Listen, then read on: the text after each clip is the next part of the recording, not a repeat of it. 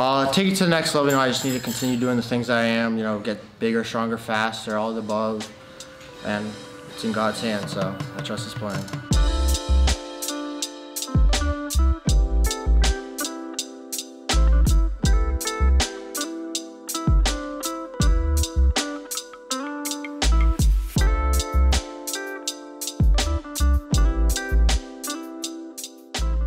Break it down for me. What do we got today?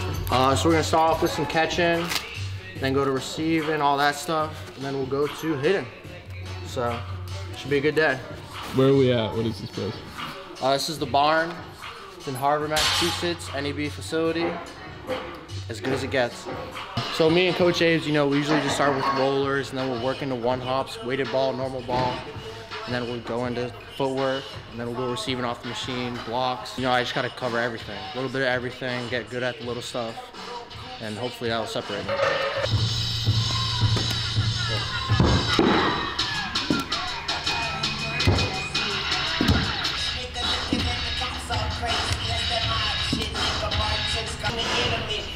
You got air transfer. You got this first. One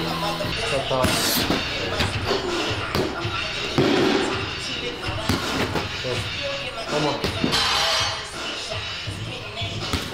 Baby. Good job. Hey, Dylan. What's up, Matt? So right now we're at the barn in beautiful Harvard, Mass. Um, most people probably haven't heard of it, but uh, you know, to, to us and to the guys in our program, it's the best place, uh, best place on earth. Um, and it, it's an environment that I think is, uh, you know, un, uncomparable to any other place in, in New England. I think, uh, you know, the, the word I think we pride ourselves on is culture. I think from the outside perspective, people think of us like a, you know, like a Duke, like a Yankees, um, where we're not maybe super well liked, um, but the things we do for our guys, you know, day to day, and uh, you know, our kids that are involved in our program that have been done with our program, you know, there's a there's a special connection, um, and it's a it's a like a camaraderie that I think goes, you know, even when you're done playing playing for a team.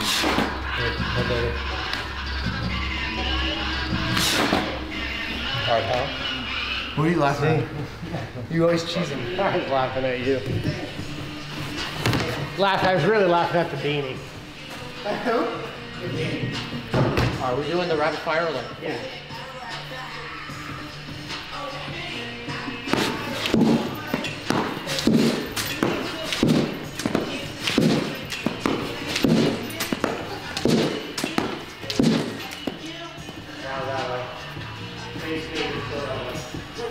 So like that? No, facing me.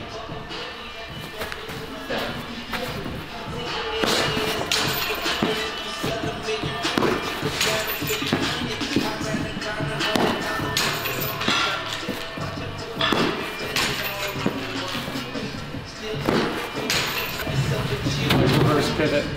Move up, you don't want to break our new TV. We'll watch the Super Bowl on that one.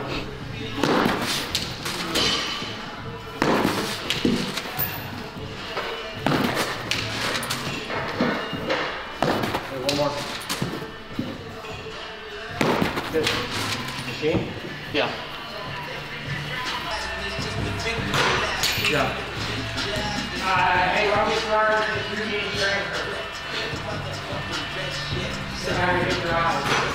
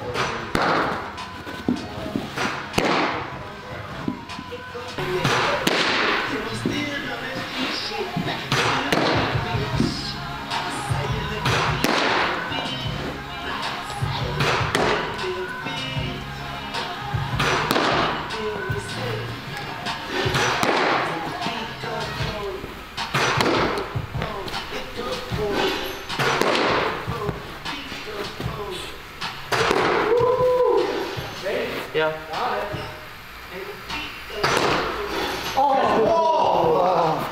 Try it again. Try it again.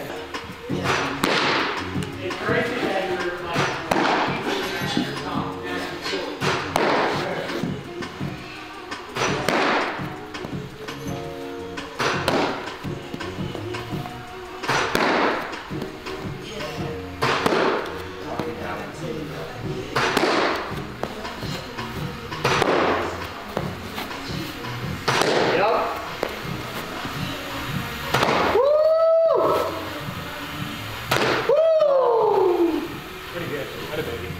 When you're doing your defensive work, what are you kind of focusing on? What do you pride yourself on? Uh, I'm trying really focus on staying back with receiving the low pitches. And then, uh, like footwork, I try and say middle, middle. So in game, it's just, not even if it's middle, it's just I can react anyway. What are we about to do now? Oh, we're about to hit, you know, get some beeps. So, should be good.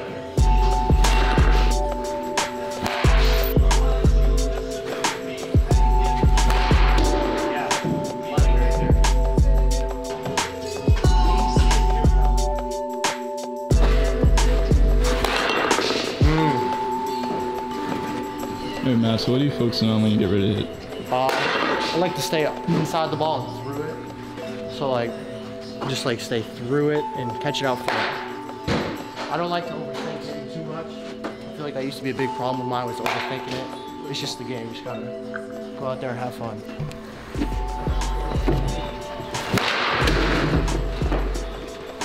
Two more.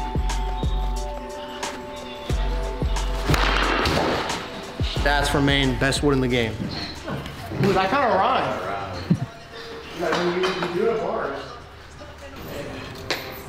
Yeah, get that shoulder rotation. That right shoulder, deal with the right shoulder. Do my fly. That, that injury ain't no joke.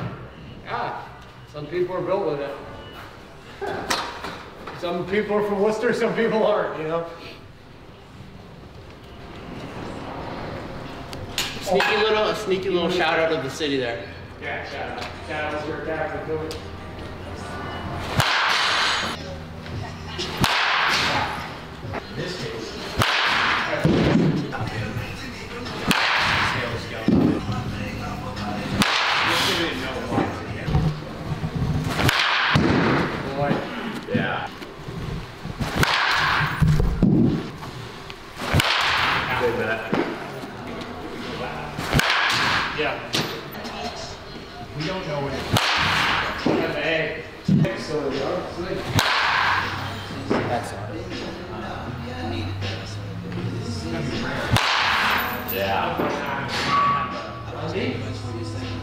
One on. One on three. One on one, two. Can help us. That. Hitter. Hitter. I love those. Yeah, I mean it's it's Matt Matt's special. Um, you know, obviously as a player, but just as a young man. I think from the day he entered our program, you know, you can see. You know, we, we've been lucky enough to have a lot of re- high-level guys come through our program, especially the last five, six years. Um, and you can just see the difference in how they work, the attention to detail, um, and the specifics of, of how he works. Um, I, I think are a separator for him. Obviously, the talent is is high, high end, but the the desire to be great um, and the desire to to genuinely improve every day, whether that's from recovery, from actually doing his his performance training, um, being in the cage, hitting, catching, throwing, you know what he's eating, how he's you know there's a his mindset is to be a pro. Like, and, and that, that's been since he was, you know, since I met him at 14.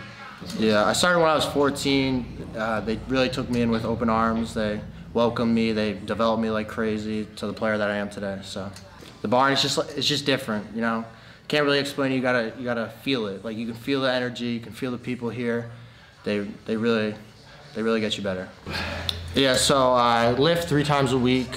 Uh, I hit almost like six days, five to six days a week. I throw a lot, probably six days a week, and then just school.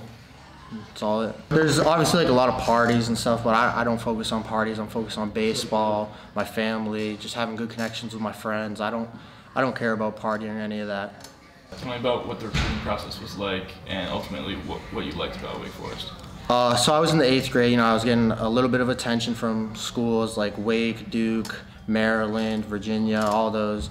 And I decided on Wake because I know the coaches would die for me and they'd run through a wall for me any second. So that means a lot to me.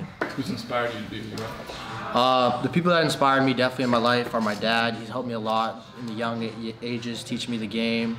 Coach Patterson, he's not here right now, but he's definitely the dark horse to my success. Coach Abe's, they all have helped me like substantially. Coach Donato, Coach White, all of those guys.